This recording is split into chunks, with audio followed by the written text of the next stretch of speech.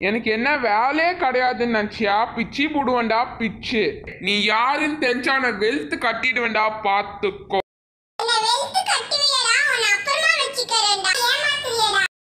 நான் ஏமாத்துறேன்னாடா. மவனே உன்னை அப்புறமா வச்சுக்கிறேன்.